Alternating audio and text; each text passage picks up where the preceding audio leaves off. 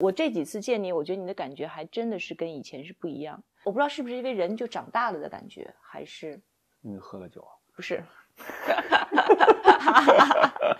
这才喝多少？这是啊，这个这个对我来说已经开始起到作用了，开始慢慢放松了。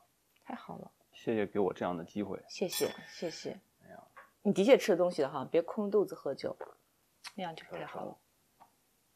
哎，你的确是把头发这样完全梳上去，特别适合你。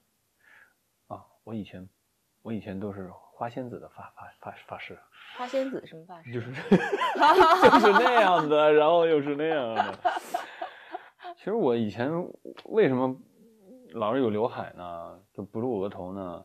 一个也是因为这个伤的关系，还有一个我老觉得脸长，我想说有刘海可以遮一点儿，就脸就没那么长，你知道吗？哎，脸长不是挺好的吗？很上镜的那种感觉吗？反正现在年纪也大了，无所谓了。哎，你真这么觉得吗？跟以前比，肯定是年纪大了嘛，对吧？哎，对于一个男人来说，年纪就是到什么时候你会有年纪的感觉？心理年龄上我还真没有，但是从外形上说，肯定是这个是没有办法的，这个是哎没有，办法的。但我我嗯特别客观的说，从一个女性跟观众角度来说，我会觉得现在的你比七八年前、十年前是要有有魅力的。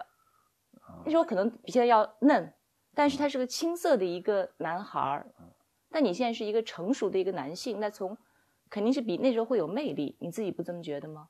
因为那时候不敢在做节目的时候喝酒，真的。就就如果啊，如果我今天还是来到你们的摄影棚，嗯是吧？然后还是那样、嗯端坐在那儿的话，我估计还还还是那种状态，不会是嗯像现在这样。我觉得你的改变，就你你真的比之前厚重了很多。